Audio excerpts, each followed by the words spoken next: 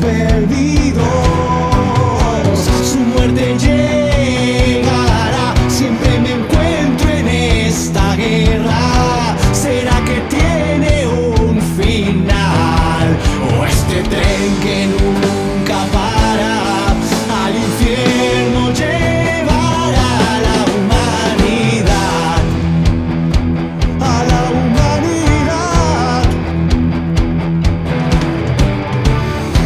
Bendice a tus niños, la muerte nos llevará, no queda otro destino.